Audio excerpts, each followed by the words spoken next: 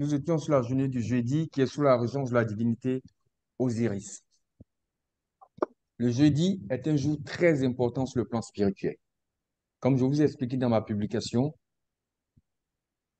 nous appartenons tous à une communauté tant sur le plan matériel que sur le plan spirituel. La communauté sur le plan spirituel, on les appelle, on les assimile souvent au génie, au génie, aux ancêtres, à tout ce qu'on veut. Quoi qu'il en soit, nous ne sommes pas seuls. Donc, de la même façon que le Père organise ses enfants sur le plan matériel, sur le plan spirituel aussi, il y a des, guides, des ancêtres, des guides de lumière qui veillent sur nous. Il y a une certaine organisation.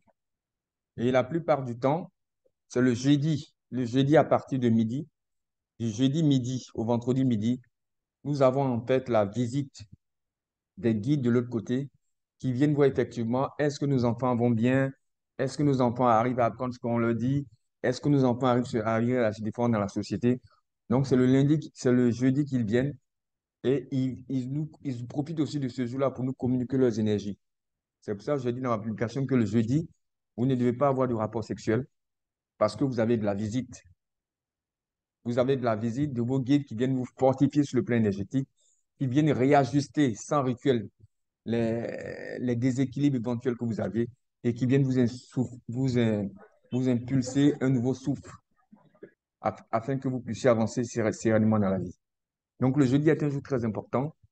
Vous pouvez faire de ce jour votre jour de méditation c'est-à-dire, même si dans la semaine, vous êtes tellement occupé que vous n'arrivez pas à méditer, à faire les rituels comme je veux, arrangez-vous au moins le jeudi pour faire au moins une méditation à votre convenance. Mais le jeudi, ce jour-là, il faut que vous passiez de ce jour un jour particulier.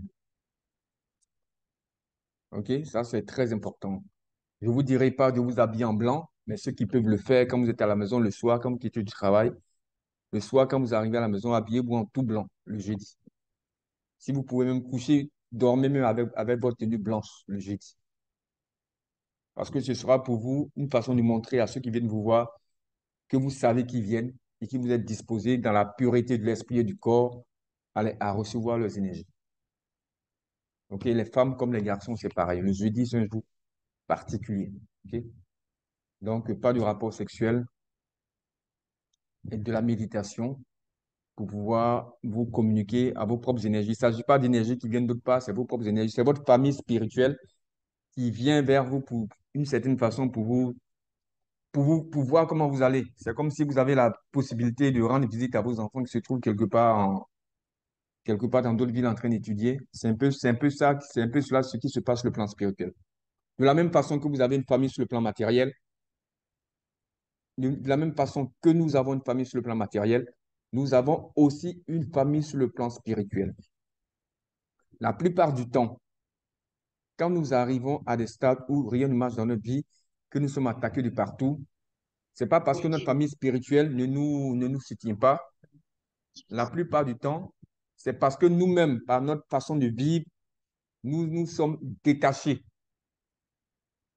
Nous nous sommes détachés de la protection de cette famille spirituelle en, euh, une, des, une des erreurs aussi que les gens font souvent, il y a des éléments qui peuvent nous affaiblir énergétiquement. Il y a des éléments qui peuvent repousser nous-mêmes nos propres génies.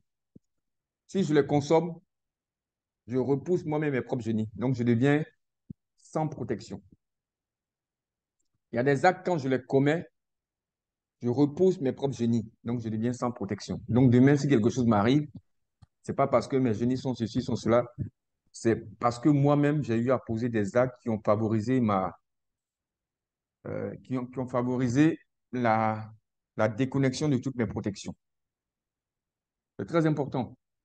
C'est très important de savoir ce qui nous apporte de l'énergie. Ça peut c'est surtout dans l'alimentation. Sachez ce que vous mangez, c'est très important. Dans ce que vous mangez, il y a de la force, mais dans ce que vous mangez aussi, il peut y avoir euh, des points qui peuvent être des points de faiblesse pour vous. C'est pour ça, vous savez qu'en fait, quand on parle de totem, de cette famille ne mange pas ci, cette famille ne mange pas ça, c'est par rapport à la connexion énergétique de cet aliment avec qui nous sommes, avec qui nos génies sont. Il faut respecter ce genre de choses-là. Je pense que même si vous, si vous ne vivez pas au village, souvent vous-même écoutez votre intuition. souvent vous-même écoutez votre intuition. Il y a des aliments, quand vous mangez, vous allez remarquer que quand vous finissez de manger ça, deux ou trois jours après, vous tombez malade. Il faut observer. C'est-à-dire, quand vous tombez malade, la première des choses que vous devez, que vous devez faire, c'est de regarder qu'est-ce que j'ai changé dans mes habitudes depuis que je suis tombé malade. Vous aurez la réponse à votre question. Et quand vous avez la réponse à, cette question-là, vous savez automatiquement ce que vous devez éviter. C'est très important. C'est un peu cela, comment régler votre biorhythme. Mais si vous ne savez pas ce qui vous apporte la force, si vous ne savez pas ce qui vous affaiblit, mais vous vivez comment en fin de compte? Vous vivez au hasard comme ça? Un, un camion ne vit pas au hasard comme ça. Il faut que vous sachiez ce qui vous apporte la force, ce qui vous, ce qui vous affaiblit aussi. Il faut que vous, connaissiez, vous sachiez. Même dans les rapports avec les personnes humaines. Même dans les rapports avec les personnes humaines. Il y a des personnes, il y a des personnes énergétiquement, qu'elles sont dans votre aura, dans vos entourages, elles, elles vous affaiblissent. Il y a d'autres, par contre, aussi, qu'elles sont dans votre environnement, elles vous impulsent de l'énergie. Ça aussi, vous, pouvez le remarquer. Je vous prends un exemple très simple. Ça fait depuis un certain temps que vous dites que, bon, à chaque fois, je, je n'arrive pas à, méditer, je n'arrive pas à faire si je n'arrive. En tout cas, j'ai plus le, j'ai plus la motivation d'aller méditer, d'aller faire tout. Et puis un jour, vous rencontrez peut-être un de vos amis, bien une de vos amies, et peut-être qu'il vous invite d'aller prendre. En tout cas, vous rencontrez, vous la rencontrez, et puis peut-être vous passez peut-être 31 heures de temps avec elle. Et quand vous revenez à la maison, et ce jour-là, hein, ce jour-là, vous avez envie d'aller méditer. Ça, c'est une personne qui vous impulse de la bonne énergie. Vous devez remarquer ça. Ça, c'est une, une personne qui vous impulse de la bonne énergie. Ça peut être aussi dans l'autre sens. Depuis que je commence à fréquenter cette personne-là, les coups même que toi t'envoies, je n'ai même pas le temps de lire. Moi-même, mes livres, j'aime En, en tout cas, depuis que je suis en contact avec cette personne-là, je me rends compte que je commence à me détacher de certaines choses qui étaient essentielles pour moi. Ça, c'est une personne à éviter. Donc, vous devez suivre tout ça. Vous devez veiller à contrôler tout ce qui se passe autour de vous. C'est comme ça que vous allez contrôler votre vie. Si vous ne voulez pas, si vous ne voulez pas que les, les comment est-ce qu'on appelle ça les, les forces extérieures contrôlent votre vie à votre place. Ok, donc tout ça, comme je dis, nous revenons à Osiris, qui est une divinité centrale dans notre euh, mythologie. Et je vous ramène toujours Osiris aujourd'hui, c'est il est considéré comme celui qui vous reçoit. Et lui, il ne vous reçoit pas. Osiris, il reçoit les bons élèves, en fait. quand Osiris te reçoit, ça veut dire que tu ne te réincarnes plus. Quand tu arrives, qu'on fait ta plaisir du cœur, qu'on estime que euh, doit te conduire, conduire Osiris, tu atteins ce qu'on appelle l'immortalité. Tu ne te réincarnes plus, tu as réussi ta vie, c'est fini. Donc, tout ce que nous cherchons dans notre vie, c'est qu'après notre mort, nous puissions être conduits par héros auprès d'Osiris. C'est ce que nous cherchons, nous tous, à, parfaire notre vie. Mais ce n'est pas quelque chose qui est simple. cela nous demande beaucoup de travail. Cela nous demande beaucoup de rigueur dans tout ce que nous faisons et surtout et surtout beaucoup de pratique. Vous savez, en, Afrique, j'aime bien les hindous parce que les hindous sont des personnes qui pratiquent intensément leur spiritualité. Intensément. Les hindous pratiquent intensément leur spiritualité.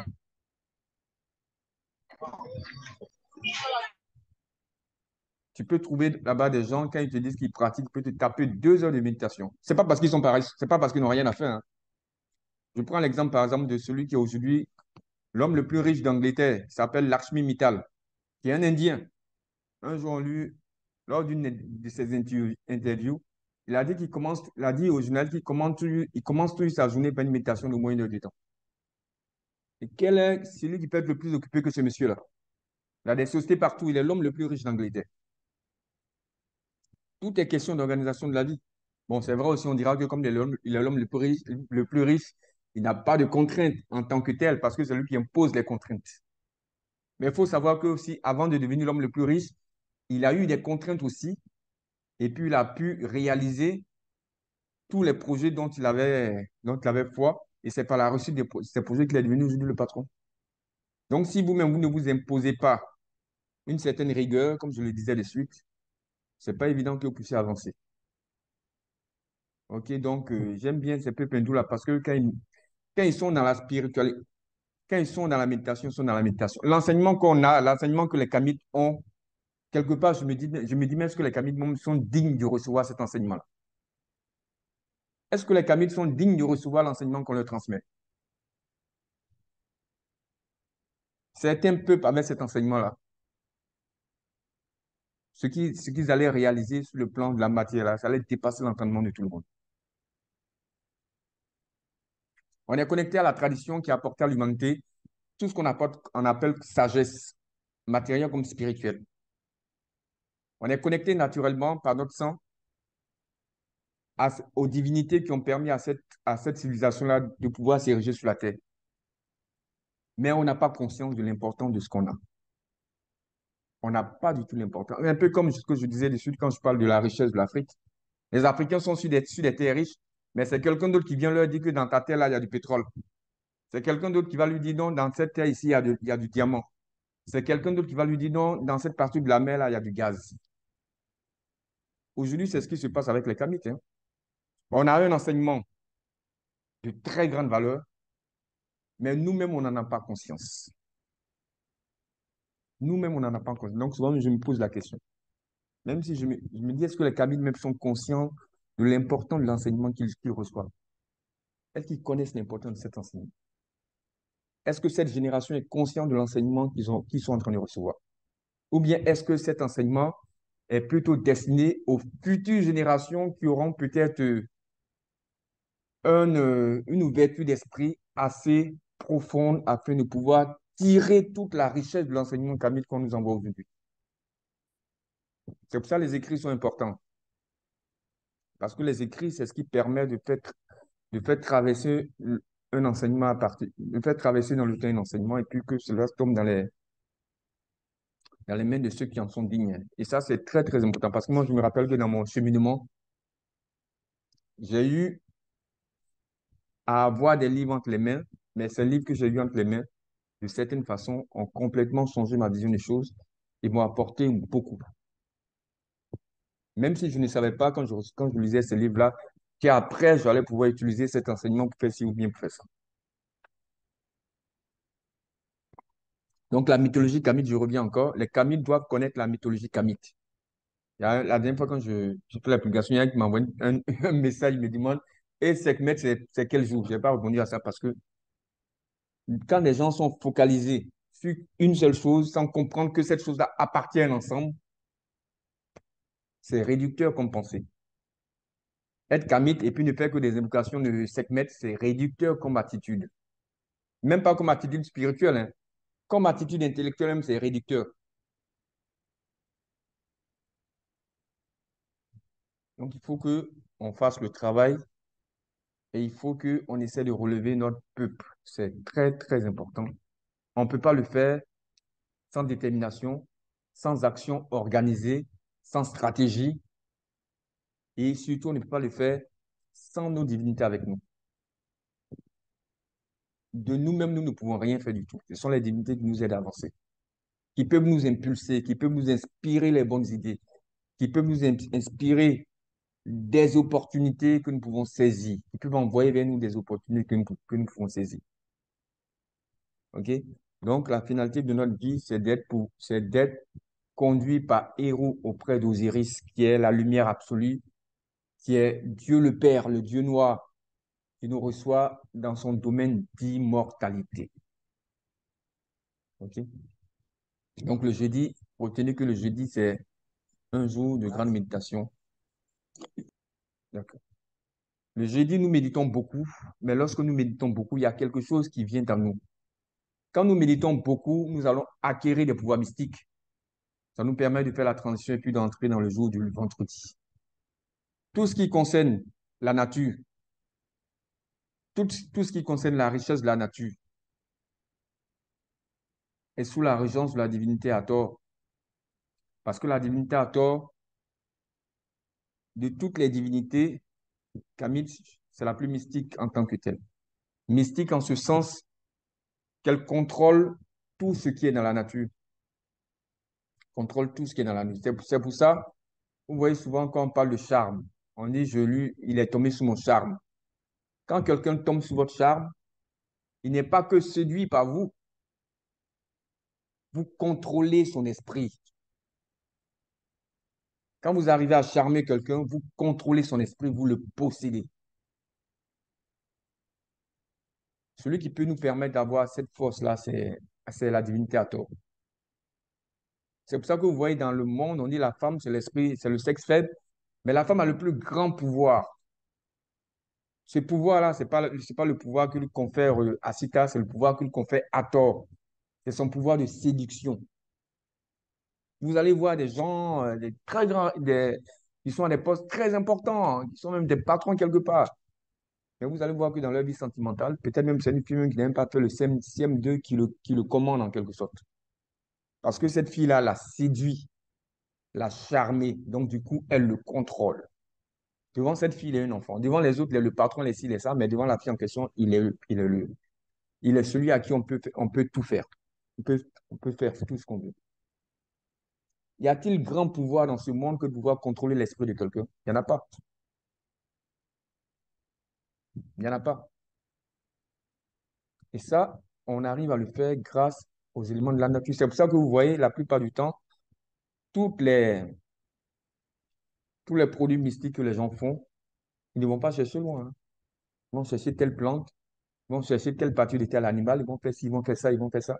C'est avec ces éléments de cette nature-là qui condensent pour créer une sorte d'énergie pour orienter sa venue personne avant, afin de contrôler son, afin de contrôler son esprit, parce que c'est ça, en fait, contrôler l'esprit. Mais on ne peut contrôler votre esprit que, que si vous êtes faible, en fait. Les sorciers ne peuvent vous attaquer que si vous-même vous êtes faible. Mais si vous méditez beaucoup, si vous pratiquez beaucoup, personne ne peut contrôler votre esprit. Même si quelqu'un essaie de vous charmer contrôler votre esprit, la personne ne pourra pas. La personne ne pourra pas. C'est vous, au contraire, mais comme vous êtes une personne euh, qui a de bonnes intentions, vous n'utiliserez pas votre force mystique pour contraindre les gens à faire ce qu'ils ne veulent pas faire. Et ça, c'est le vendredi. La plupart du temps, on vous dira que tous les, tous les retours d'affection et tout ça, c'est le jour du vendredi qu'il faut faire. C'est le jour du vendredi qu'il faut faire parce que c'est ce jour-là que ces énergies-là sont les plus, les plus intenses. Et ça, je ne sais pas si c'est la même raison, mais vous verrez que dans certains, dans pas mal de régions, pas mal de villages, le vendredi est le jour où les gens, on, où on, où on ne va pas au champ. Parce qu'on parce ne va pas au champ le, jour du vendredi, parce qu'on se dit qu'on peut avoir des, il peut avoir pas mal d'accidents en fait. Parce que les énergies sont tellement fortes que du coup on se dit, et comme c'est dans, dans le champ, c'est en brousse là-bas, donc on se dit mieux vaut ne pas aller dans ce lieu-là. C'est comme si ces énergies même se renouvellent le vendredi dans la forêt. Donc au village, on a des actions qu'on pose, on a la, on sait ce qu'on doit faire, mais la plupart du temps, on ne nous dit pas pourquoi on doit le faire. On te dit qu'on ne va pas au, champ le vendredi, mais personne ne va t'expliquer pourquoi on ne va pas au champ le vendredi. Parce qu'on ce n'est pas parce qu'on ne veut pas te dire, mais parce qu'on suppose que tu es encore un enfant qui ne peut pas comprendre ce qu'on va t'expliquer. Et moi, c'est ce que je vous explique. La, oh, sagesse, il y a des choses qu'on n'enseigne pas à tout le monde, en fait. Donc, c'est pour ça, dans les villages, on dit non, les Africains, ils ne cachent pas les choses, mais il y a des choses qu'on se dit tant qu'une personne n'a pas une certaine hauteur d'esprit, mieux vaut ne même pas lui en parler, en fait. Mieux vaut ne même pas lui en parler. Parce qu'elle ne comprendra pas. Elle n'a pas le niveau, euh, le niveau d'ouverture d'esprit nécessaire pour comprendre. Donc, la divinité Hathor, dans la mythologie kamite, Hathor, c'est la, la, femme de héros. À, à juste titre, justice, parce que je vous ai dit de suite que héros représentait l'énergie solaire. L'énergie solaire, elle permet de faire quoi? Elle permet de... C'est l'énergie solaire qui fait que nous avons la nature avec la terre. Héros, c'est la forme de... Et Athos, c'est la forme de héros. C'est pour ça que vous voyez la façon d'écrire Athos et puis héros, c'est carrément pareil. Seulement que Athos, elle est dans un, dans un carré. Et puis héros, lui, c'est simplement le faucon sans le carré, c'est tout.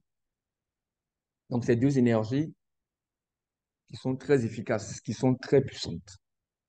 OK? La femme, naturellement, elle véhicule l'énergie d'Ator, mais aussi l'énergie de d'Asita, mais en même temps aussi l'énergie de Nout. La femme, quand elle est maman, elle véhicule l'énergie. Une mère, il n'y a personne de plus. Il n'y a personne de plus, de plus protecteur pour, une personne qu'une mère qui protège son enfant. Dans la nature, ça n'existe pas. Quelqu'un qui peut protéger une personne plus qu'une mère, ça n'existe pas. Ça, c'est quand la femme est Asita. L'autre côté aussi, il n'y a personne aussi qui peut captiver, séduire une personne aussi naturellement qu'une femme le fait. Ça, c'est quand la femme a le pouvoir de tort. Et puis, en troisième lieu maintenant, nous allons tomber sur la journée du samedi, qui est la divinité Nout. Nout est aussi une divinité féminine. Nout représente un peu la grande-mère. La grande-mère qui aide, la grande-mère qui comprend. Regardez un peu les enfants qui sont élevés par leur grande-mère. La plupart du temps, on dira que non, les grandes-mères gardent pour les enfants. Nout, c'est un peu ça. Nout, c'est la, grande protectrice, celle qui protège. Celle qui protège et puis les enfants qui grandissent avec leur mère, il y a quelque chose qui va les caractériser. Leur grande-mère va leur enseigner beaucoup de choses de sagesse. Ce sont des enfants qui atteignent la sagesse, qui ont le niveau de sagesse très tôt dans la vie. Vous prenez un enfant qui a grandi avec sa grand-mère, un enfant qui a grandi avec ses parents, papa, vous les mettez ensemble, vous verrez que dans la vie, l'enfant qui a grandi avec sa grand-mère évoluera plus facilement dans la vie parce qu'il y a certains pièges de la vie qu'il va éviter plus facilement. Simplement parce que sa grand-mère lui a appris certaines choses, les choses qu'il faut faire, les choses qu'il ne peut pas faire, à quel moment il faut le faire, à quel moment il ne faut pas faire, comment écouter. La... En tout cas, sa grand-mère lui aura appris beaucoup de choses. Et ça, c'est la divinité nous en fait, qui est la troisième divinité féminine et qui a ses énergies qui interfèrent le, samedi. La divinité Nout, elle, est la plus... Elle est, elle assimilée à la mer, en fait. Elle est assimilée à, l'eau de la mer. L'eau de, l'eau de la mer nettoie l'aura. L'eau de la mer nettoie l'aura. C'est pour ça qu'on se dit souvent, même tous ceux qui, vont faire les médicaments, ils savent ça. Ils savent que quand tu prends ton médicament, que tu vas aller nager dans la mer, faut, ton médicament qu'on a fait pour toi, il faut, faut enlever pour déposer. Parce que tu rentres dans la mer, l'eau de la mer nettoie tout. C'est pour ça, dans certaines, euh, dans certaines pratiques de purification aussi, on vous dit non, il faut te laver l'eau de mer, tout ça, parce que c'est le, l'eau de la mer, aucune magie noire ne peut résister à la puissance de la mer, parce que l'eau de la mer nettoie. Et ça, c'est la divinité de nous. Dans ma publication aussi, j'ai souligné le fait que ceux qui naissent le samedi ont une vie, sont souvent marqués d'une certaine infirmité. Ont une vie un peu difficile au début. Parce que vous savez que aussi, nous, c'est celui-là qui arrive à t'enseigner, mais par les épreuves en fait. Il ne te donne pas les épreuves pour te punir, mais il te donne les épreuves pour que tu puisses acquérir certaines, connaissances, certaines connaissances derrière l'épreuve. Donc, ils ont une vie un peu difficile au début, mais après, ils arrivent à surpasser ces, ces épreuves-là. Et quand, quand ils arrivent à stabiliser leur vie, stabiliser ça sur du long terme. Et ce sont des personnes qui ont naturellement le pouvoir de pouvoir, de, le pouvoir d'exorciser. C'est simplement parce qu'ils sont nés le, samedi. Parce que cette énergie-là est en eux. Ils peuvent, ils peuvent chasser, le mal. OK? Parce que eux-mêmes, ils ont une énergie assez, ils ont une énergie très puissante, très dure. C'est comme si tu vois une personne qui a l'énergie de la mer avec elle, en fait. Elle peut chasser le mal parce que j'ai dit que nous, ici, c'est l'énergie de l'eau. Et le, quand on parle d'exorcisme, c'est chasser le mal. Ta parole seule peut chasser le mal. Qui connaît la bonne invocation, qui la récite sur une personne qui est possédée d'une certaine façon, l'esprit va partir, l'esprit négatif va partir. Il peut, il peut commander en fait. Et par ricochet, les personnes nées samedi ont des protections naturelles contre toutes les forces, qui, contre toutes les forces négatives. Les personnes nées samedi, les personnes le mardi ont des protections naturelles contre toutes les forces négatives. Bon, je vais vous laisser poser quelques questions parce qu'on est à la fin de notre communication. J'espère que vous n'en aurez pas trop des questions, mais quoi qu'il en soit, on reste toujours en connexion parce que en 1h30, on ne peut pas déballer tout l'enseignement qui concerne les divinités kamites, mais on essaie de donner l'essentiel. L'essentiel qui peut vous aider à avancer dans votre vie, à réussir vos projets et autres. Donc, si vous avez quelque chose à dire, vous pouvez lever la main. Ouais, euh, Bassuri, vas-y, tu veux prendre la parole. Après à tous. J'espère que tout le monde m'entend. Hein. on m'entend? Oui, oui Bassuri, je t'entends. Je t'entends. D'accord, ok. Non, c'était juste savoir, concernant le, le jeudi, là, se hmm. mettre en tout blanc, c'est dans la nuit du mercredi au jeudi ou c'est Non, du jeudi. J'ai précisé du jeudi au vendredi. D'accord. Mais, mais, dans la journée du jeudi également, on pourrait éventuellement, si on a l'occasion de se mettre en blanc aussi. Oui, ouais, si vous, parce qu'il ne faut pas aussi jouer les, les féticheurs en plein, en, plein, milieu professionnel. Hein. donc, c'est pour ça que je dis le soir quand vous descendez. Mais, si vous, mais par contre, vous pouvez vous habiller, vous pouvez mettre une cravate blanche, ça, c'est déjà quelque chose. Celui, vous, mettre, vous, pouvez mettre une, une, les filles, vous pouvez mettre une écharpe euh, de couleur blanche, quelque chose qui se rapporte au blanc en tout cas, mais qui n'est pas trop parce qu'il ne s'agit pas de trop, de trop s'afficher aussi en tant que tel. Quoi. OK, mais par contre, ce soir, le soir, quand vous êtes chez vous, vous pouvez en toute tranquillité vous mettre dans votre tenue de pureté. Mais quand on dit se mettre en tout blanc le vendredi, est-ce qu'on pourrait éventuellement soit mettre un haut blanc ou euh, même un sous-corps blanc, ou bien il faut absolument euh, être, euh, se mettre totalement en blanc? Mais de suite, j'ai dit qu'on peut mettre une cravate blanche, simplement. On n'a pas, pas besoin de mettre totalement blanc. OK? Parce qu'on ne peut pas être totalement. Si vous pouvez le faire, vous le faites. Si vous êtes même votre propre patron, vous le faites. Le vendredi, vous venez dans votre tenue toute blanche, personne ne va vous dire pourquoi vous êtes en blanc. OK? OK, merci. Merci. iPhone, je ne sais pas c'est qui. Vous pouvez prendre la parole. Ce n'est pas le nom de, du membre qui est derrière ce, cet indicatif. Je, je vous écoute, hein, le deuxième qui a levé la main.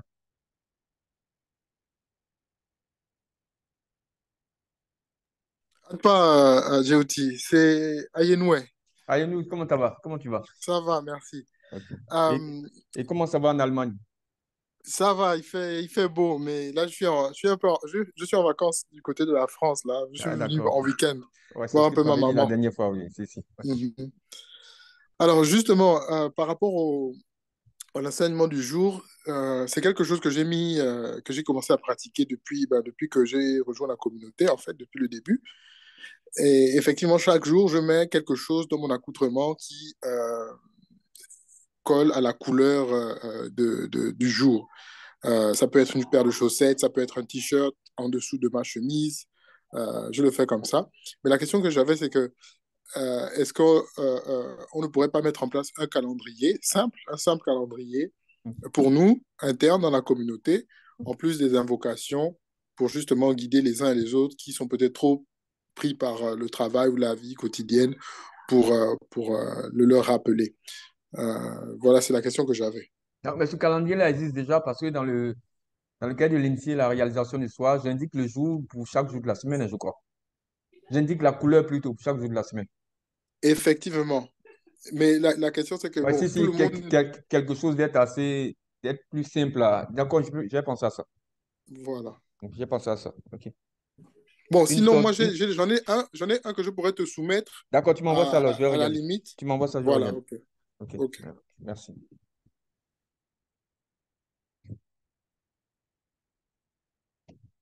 Quelqu'un d'autre a une question? Qui d'autre a une question? Euh, Aïssa, tu n'as pas de question. Christian, tu n'as pas de question. Nadège, Davy, Kylian, tu veux parler? Euh, Armel, tu n'as pas de question? Oui, désolé, je voudrais parler. Ouais, Kylian, vas-y, je t'écoute. Hein, oui, pas tout le monde. Euh, j'ai une préoccupation. Euh, par rapport, par rapport aux, interdits que nous rencontrons dans nos communautés, nos villages, moi j'ai mm. un cas particulier. Mm. Je prends un exemple très simple. Euh, du côté maternel, on ne mange pas les escargots, par exemple. Chez nous, dans ma famille maternelle, pendant que dans ma famille euh, paternelle, c'est un plat très, euh, très apprécié. Mm. Alors, à, ce niveau, comment est-ce qu'on pourrait, on pourrait gérer ça? Parce que là, ça, ça devient... ça devient compliqué, effectivement. Un côté, on ne mange pas, le côté, c'est le, plat favori. voilà. Donc, comme j'ai dit, il n'y a pas meilleure euh, approche que l'observation. Je suis mm.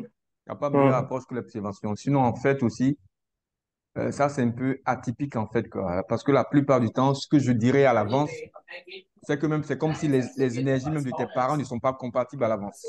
Je suis? C'est comme si les, énergies de tes parents même ne sont pas compatibles à l'avance. Je suis?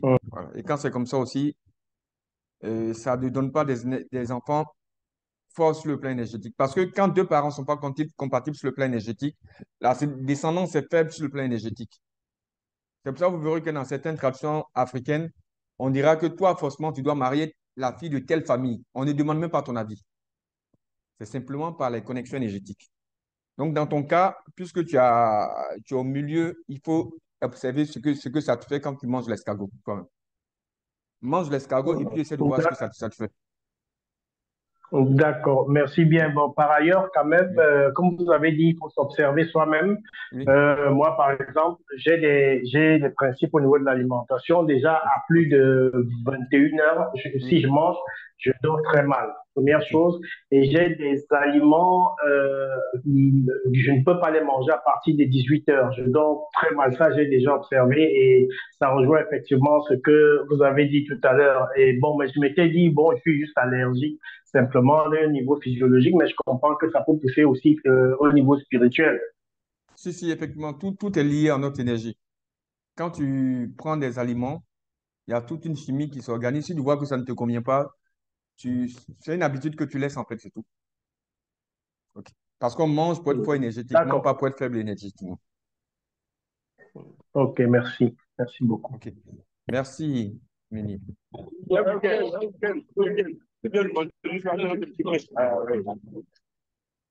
voulez prendre la parole, Bled, Bled de 4. D'accord. Il avait ouvert son micro. Il y a les questions? S'il n'y a pas de questions, je pense qu'on peut... Comme je dis, on est toujours en contact sur les différents groupes.